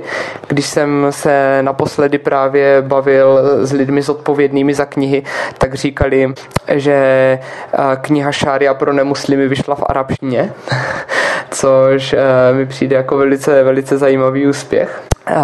Každopádně máme tu knihy, samozřejmě, které už se dnes rozšířily do významných českých knihkupectví. Kromě toho tu máme veřejné přednášky. Na jedné z nich jste mě vlastně sám potkal, takže zhruba víte, jak vypadají. Účelem těch veřejných přednášek je na jednu stranu informovat občany, které se o to, kteří se o toto téma za, za, zajímají, ale na druhou stranu je také ukázat jim, že je úplně normální se bavit o nějaké politické ideologii, kterou považujeme za problematickou.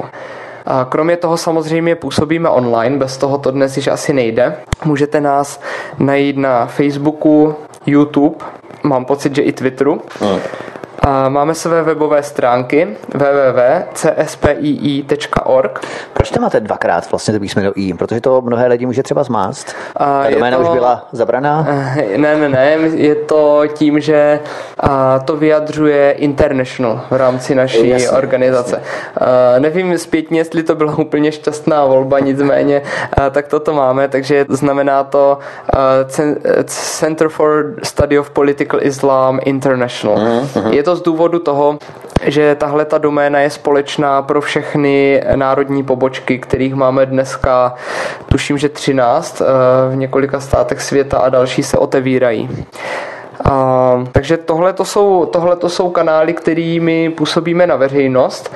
A samozřejmě také pro zájemce poskytujeme školení v tomto tématu, ať už se jedná o a, například školy nebo politiky nebo různé zájmové kluby, můžou to být například vlastivědné kluby, cokoliv vás napadne. Pokud nás někdo osloví, tak rádi poskytneme školení jak ve faktických věcech, tak také v argumentaci, což si myslím, že právě argumentace o tomto tématu eh, je pro spoustu politických subjektů zajímavá. Eh, vy existujete samozřejmě už několik let od toho roku 2014, kdy jsme se bavili ještě, když to byl Milan Podlipný. Kolik pozvánek zhruba dostáváte na konání různých osvětových přednášek a seminářů o islámu, nebo si vybíráte sami? A záleží to země od zemi, musím říct. Soustřeďme se teď na českou divizi nebo českou franchízu. V České republice a bohužel nepřipravil jsem se úplně dokonale, neřeknu vám teď přesné množství přednášek, které již proběhlo, ale jsou to desítky. Nemyslím si, že to je ještě sto, ale, ale jsou to desítky přednášek, co jsme měli v různých městech České republiky. Od koho většinou tyto požadavky na přednášky jsou? Kdo je vám adresuje? Jednotlivci nebo nějaká združení, řekněme? Občas, občas nás osloví združení většinou nějakých aktivních občanů, kteří se v tom kterém regionu snaží šířit osvětu o důležitých společenských tématech. Například, co můžu uvést, je, že si nás jednou pozval Pardubický salon, což je skupina místních občanů, kteří si zvou významné osobnosti, například pana Klauze mladšího nebo pana Kurase, aby u nich, aby u nich debatovali, tak si pozvali také nás. To je je jeden scénář. Ten nejčastější scénář je nicméně to, že nás osloví uh, nějaký občan jako jednotlivec nebo má třeba nějakou skupinu pomocníků, který by chtěl, aby tyto informace zazněly uh, v jeho v jeho městě nebo vesnici. Uh-huh, uh-huh. Bývají to třeba i školy, nebo to ještě ne v rámci workshopu? Škola, školy nás zatím příliš neoslovují. Oslovila nás již jedna pražská škola, kde jsme měli nějaký workshop. Nicméně A fakt je ten, že v tom vzdělávacím systému panuje poměrně velký strach, že e, by například ti učitelé, kteří by něco takového započali, by mohli být právě označeni nějakými těmi nálepky, jak jsme, nálepkami, jak jsme se bavili na začátku. Takže setkáváte se běžně i s tím, že po zjištění vlastníka prostor, ve kterých by se měla ta vaše přednáška nebo seminář konat, tak po jeho zjištění, o čem ta přednáška bude, tak eh, vám ten termín zruší, stává se vám to. Protože jednotlivec, který vlastní nebo který ví o nějakých prostorech, kde byste mohli vystoupit, tak eh, ty prostory někdo vlastní. Vlastní je třeba město nebo zastupitelství a tak dále, na komunálu. A teď oni, když zjistí, kdo tam bude vystupovat, tak eh, tomu jednotlivci řeknou ne, my ho tam nechceme, nebo my je tam nechceme. Tak my, když komunikujeme s těmi místními organizátory, kteří si chtějí uspořádat přednášku, já nevím, třeba v Pardubicích nebo, nebo v Hradci Králové, nebo v Brně, tak my samozřejmě jim říkáme, ať jsou transparentní v tom, co se tam bude odehrávat. A nicméně už se nám několikrát stalo, že například majitel toho prostoru ze začátku souhlasil, ale jak se termín té samotné přednášky blížil, tak uh, dostal strach a přednášku odřekl a my jsme pak museli hledat nějaký alternativní prostor, což si myslím, že je velice škoda, protože ty, tento strach je za A neudůvodnění, neudůvodněný, protože, jak jsem říkal, já už mám za sebou přednášek desítky a, a nikdy se mi nic nestalo. A někdy také bývá strach ze strany organizátorů z toho, že taková přednáška přitáhne nějaké extrémní elementy, řekněme třeba neonacisty. A já musím říct, tě, těmi přednáškami už mi prošly de facto stovky lidí. Dodejme, jsem, dodejme odvahu potenciálním zájemcům. A, ano, já, já jsem, já, já samozřejmě nevidím do hlavy lidem, ne. ale myslím si, že jsem tam neviděl jediného člověka, který by se dal označit třeba za neonacistu nebo nějakého takového pravicového extrémistu. Takže uh, 99% účastníků těchto přednášek jsou prostě občané, kteří se o toto téma zajímají. Občané jako já nebo naši posluchači. Hmm. Čím si to vysvětlujete? Bojí se tito lidé islámu, i když máme prý svobodu, sekulární společnost, ale i navzdory tomu už se nesmí o islámu svobodně kriticky hovořit, bádat a třeba i eh, ho kritizovat. Bojí se lidé islámu, ačkoliv to islám vlastně není? To je taková zvláštní paradoxní situace, schizofrenická do jisté míry. Eh, velice dobrá otázka. Tam jsou dvě úrovně strachu. A někdo se samozřejmě bojí toho islámského násilí jako takového a na jednu stranu přiznejme si, ono to není úplně iracionální, protože když se podíváme eh, vlastně, co se, řekněme, od roku 2001 dělo v Evropě, tak uh, můžeme vidět, že již mnoho lidí doplatilo na to, uh, že chtěli upozornit na problémy, které jsou s islámem spojeny. Ale pak je tu i ta druhá úroveň strachu, a to je um, to je to, že lidé se bojí nějakého toho společenského odsouzení. A já uvedu jeden příklad za všechny. Když jsme se nedávno pokusili zorganizovat uh, přednášku v jednom malém, řekněme 15 tisíc nebo 20 tisíc obyvatel, to město mělo, v jednom malém městě na Moravě, a já teď nebudu konkrétně jmenovat, abych nikoho nedostal do problému, tak paní ředitelka místní knihovny, kde se ta přednáška měla odehrávat, tomu ze začátku byla nakloněna, ale pak, když uh, upoutávka na to přednášku vyšla v nějakém oběžníku, tak si rodiče dětí, co do té knihovny normálně chodí v rámci třeba školních činností, začali stěžovat a začali vyvíjet nátlak, aby uh, taková přednáška neproběhla. Ne proto, že by byli a priori proti tomu obsahu, ale proto, že měli strach o svoje děti. Mhm. Takže co tím chci říct je, že chci, aby si naši posluchači uvědomili, že rodiče v malém moravském městě mají dnes strach islámu, z islámu, dokonce takový, že jsou ochotní vyvinout aktivitu, aby zatrhli možnost takové přednášky. Hmm. A na druhé straně tady máme třeba Jsme lidé jedné země, projekty, anebo projekty Edison od uh, společnosti ISEC, které se naprosto běžně vyskytují ve školách. A to je v pořádku. Tak to je docela taková zvláštní paradoxní situace. Je to, je to samozřejmě pravda. Nicméně uh, je to možná zvláštní, ale rozhodně to není překvapující, protože to, čeho se každý člověk bojí, uh, zhruba stejně jako toho fyzického násilí, je, nějaké, je nějaká společenská izolace nebo nějaké společenské osočení. A přestože, jak můžeme vidět z různých průzkumů veřejného mínění a tak dále, tak velká část české společnosti je minimálně skeptická k tomu, co nám přináší politický islám, tak zároveň drtivá většina lidí nechce eh, vystoupit z toho, co je společensky nějakým způsobem akceptované. Takže takže ta úvaha, ke které spousta lidí dospěje, je spíše taková, že nebudou riskovat nějaké společenské vyloučení, protože to nebezpečí politického islámu si představují, že je zatím velmi daleko. To přímé fyzické ohrožení. Což eh, bohužel není tak úplně pravda. Posuneme se kousek dále a překročíme už k poslední části našeho rozhovoru. Vy na vašich webových stránkách odkazujete na čtyřstupňový vzdělávací systém v souvislosti s opravdovou podstatou politického islámu. Co představuje tento čtyřstupňový vzdělávací systém? A, tak v podstatě se jedná o knihy, které, eh, které vydal Bill Warner. Jsou seřazené podle, řekněme, kategorií obtížnosti. Každá ta další, každý ten další stupeň jde o něco více do hloubky. Bohužel kompletní systém je zatím k dispozici jenom v angličtině. Naši překladatelé stále pracují na tom kompletním překladu do češtiny. Nicméně, co můžu říct z určitostí, je, že ten první stupeň máme již v češtině kompletní a jsou to knihy Šária pro nemuslimy, Síra, Korán, Hadísy a samovzdělávací kurz politického islámu. A jsou členěny i ty argumenty, kterými lidé můžou potom diskutovat. A na to je zaměřená jedna kniha z druhého stupně, kterou již také máme v češtině, jmenuje se Věcná argumentace. Mm. A já bych opravdu chtěl posluchačům doporučit, nebo chtěl bych jim slíbit, že pokud si přečtou jednu knihu z prvního stupně, tak budou mít lepší znalost o, o islámu než 95% společnosti. Uh-huh. Pokud si přečtou všechny knihy, tak budou mít lepší znalost než 99% společnosti. No, samotní muslimové, ne? Uh, velice často se to, se, se, se to stává. Hmm. A je zároveň... Možné ty, je možné ty knihy studovat, pardon, že vás přerušuju, izolovaně, to znamená, že je nutné číst všechny knihy návazně na sebe, nebo je možné třeba si vybrat jednu knihu, kterou zrovna dostanu do rukou? Uh, samozřejmě ty knihy jsou strukturované tak, aby každá z nich sama o sobě vám dávala smysl.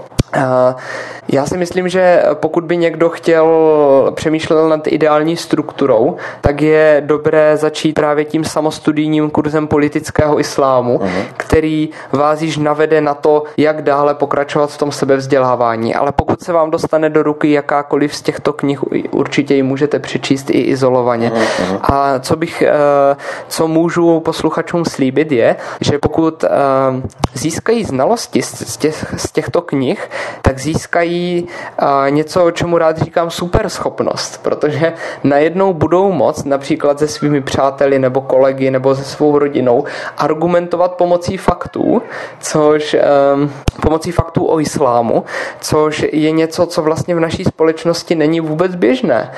My se rádi ohrazujeme tím, jaký například z islámu máme pocit, nebo co řekla o islámu ta která společenská osobnost. Ale pokud najednou my sami můžeme vystupovat z pozice faktů, tak nám to dá obrovskou sílu právě v těchto, v těchto argumentacích. Ideální by bylo, kdyby si obě strany přečetly tyto vaše knihy, protože v tom případě by odpadávala jakákoliv veřejná diskuze, protože by měly v podstatě obě strany stejnou výbavu. A nebo, a nebo alespoň by ta veřejná diskuze najednou dávala mnohem větší smysl a mohli bychom mnohem lépe dospět k racionálním závěrům. Pokud bychom opravdu, eh, pokud by obě strany eh, by, by třeba byly v konfliktu, pokud by obě stavěly na faktech, tak musíte uznat, že věcná diskuze přináší daleko lepší řešení než pouhé eh, překřikování. Co je vaším cílem, řekněme, protože vy jste vznikli samozřejmě se záměrem vzdělávání, edukace, přinášet racionální, objektivní fakta o islámu, ale určitě máte třeba i další cíle, snahy, směřování. Jaké to jsou, kromě tedy toho základního faktoru, kterým je vzdělávání veřejnosti? A může to znít možná jednoduše, ale v jednoduchosti je síla. A žádný další cíl nemáme. My chceme opravdu komplexní vzdělanost společnosti, aby eh, když potkáte člověka na ulici a zeptáte se ho, jestli ví, co je politický islám a co to pro naši společnost znamená, aby měl tuto vědomost.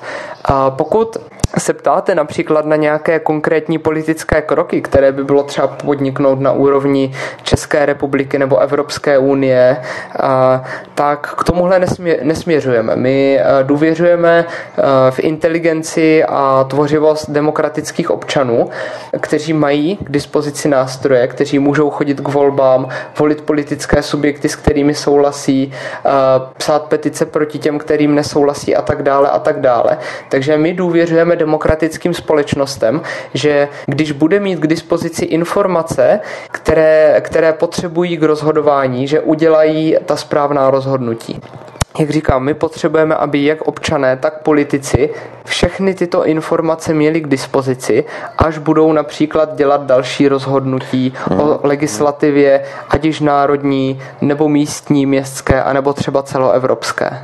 Pokud ještě na konci nebo ke konci našeho rozhovoru se vrátíme okruhem na začátek a odkážeme na ten výrok Federiky Mogheriniové, se kterým jsme začali na začátku, v čem myslíte, že Evropa selhává, v čem jsme přestali plnit tu základní civilizační roli, kdy potom poskytujeme islámu možnost k expanzi na našem kontinentě, nebo řekněme euroamerické civilizaci, protože islám jako doktrína tu svou roli plnit nepřestal.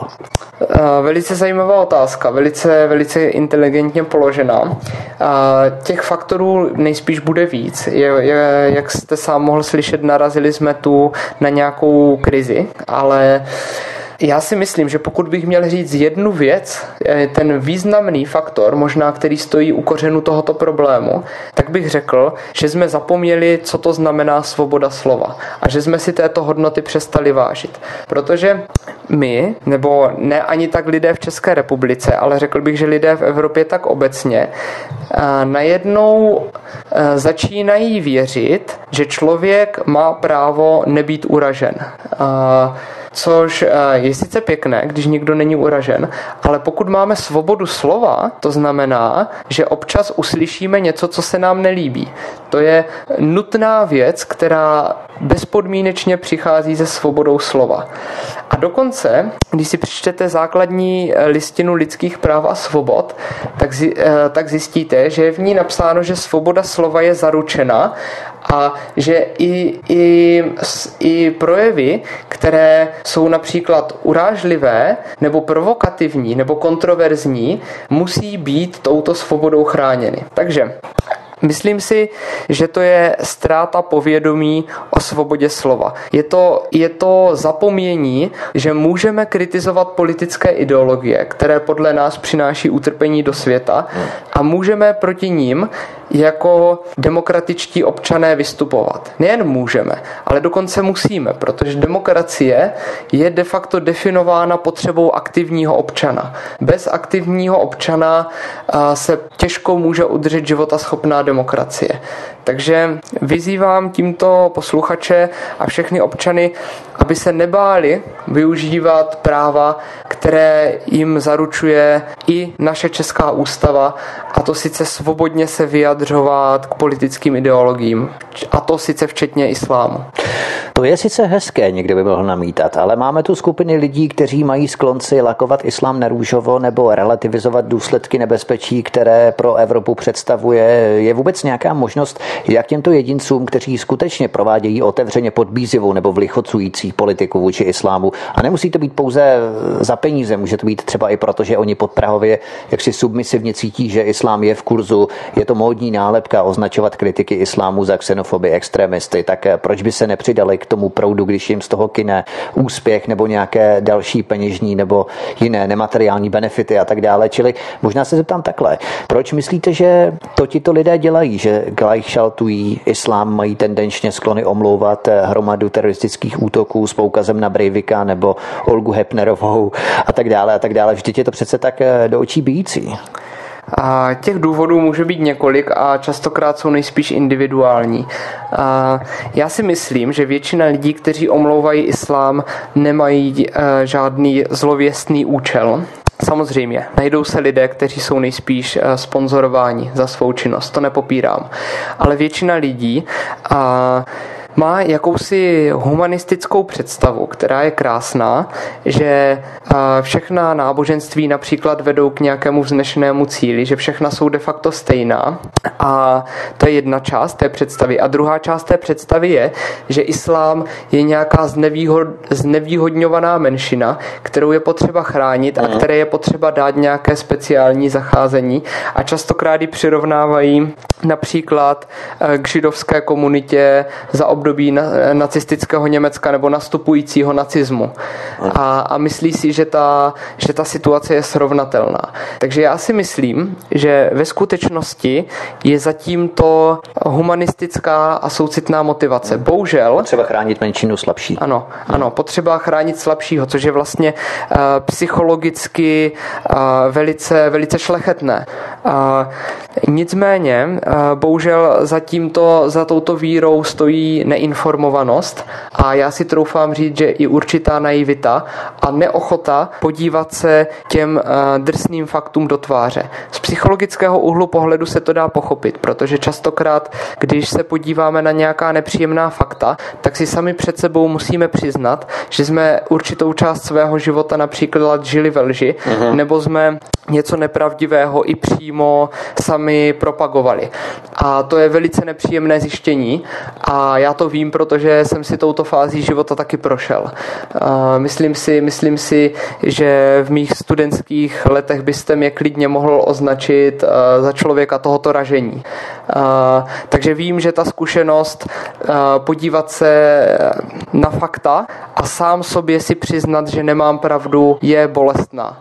V podstatě můžeme přirovnat i ke starší generaci, která mnohdy vidí svět bipolárně stále na té úrovni studené války sovětských svaz eh, versus Spojené státy americké. V podstatě není schopna si připustit, že eh, to uspořádání světa, centrum moci se přesouvá potom jinde, že máme více center moci, která se uchází o, řekněme, světovou nadvládu, nejenom tedy v rámci nylonu, to znamená Velké Británie a Spojených států amerických, ale máme tady právě Evropskou unii, máme tady říši středu, takzvanou, to znamená Čínu, máme tady prostě dalších, mnoho dalších, i Rusko není to, co bývalo, není to sovětský svaz, v podstatě se modernizuje a tak podobně.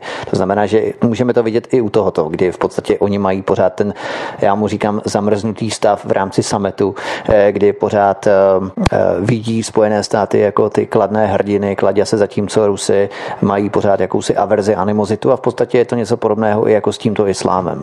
No já jakoby nebudu hodnotit tu současnou politickou situaci, ale ten jev, který tam můžeme vidět, je podobný v tom smyslu, že pokud někdo si v hlavě vytvoří to bipolární vidění světa, to znamená například na jedné straně ten univerzálně persekuovaný islám a na druhé straně ti nenávistní rasisté a mhm. islamofobové, kteří, kteří chtějí muslimům ubližovat, tak to rozhodně nepři, nepřispívá té společenské diskuzi. Pak z toho právě vzniká jenom ta silná polarizace společnosti. Já, já jsem tady e, před pár minutami silně propagoval svobodu slova ale uh, nejsem pokrytec a věřím, že tu svobodu slova by měl, být každý, měl mít každý. To znamená i lidé, kteří uh, omlouvají islám a malují ho na růžovo. Uh, přestože nesouhlasím s tím, co ti to lidé říkají, tak budu bojovat za to, aby to mohli říkat, jak říkali osvícenci. Pouze musíme eh, dbát o to, aby eh, i lidé, kteří jsou pak kritičtí a kteří mají jiný pohled na tyto věci, mohli mít stejnou svobodu slova. Vy jste tady poukazoval právě i na psychologii. Vezměme si třeba psychiatra jménem Radkin Honzák, který pronesl, že za současný vzestup rasistických projevů je odpovědná politická spodina, která vyvoláváním strachu z imigrantů získává hlasy voličů nebo získávala hlasy voličů a která je dnes uvesla. A podle něj je trestuhodnou ostudou českých elit, že se tomuto zhoubnému vlivu nikdo dost srozumitelně dosud nepostavil. Myslíte, že toto relativizování nebezpečí islámu poukazováním na spodinu, na rasisty, extrémisty, takže je vyloženě patologická diagnóza, protože dokonce u takových profesí, jako jsou třeba i psychiatři, že se to opravdu nevyhýbá jakékoliv profesi u profesí, kde bychom to vůbec nepředpokládali, protože mě tento rozčílený výrok psychiatra Radkina Honzáka přijde jako náběh na nějakou ataku skoro, jo.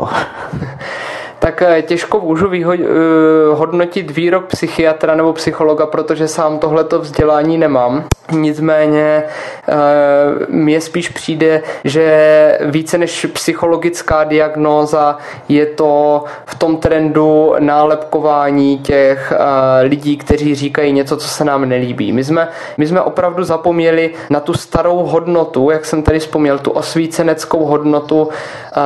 Nelíbí se mi to, co říkáš, ale věřím, že máš právo to říkat. To je něco, co bohužel ve společenské diskuzi kriticky chybí. Tak eh, poslední jedna nebo dvě otázky. Tématu džihádu je věnovaná téměř celá třetina islámské doktríny. Termín džihád znamená zápas a může probíhat mečem i slovy.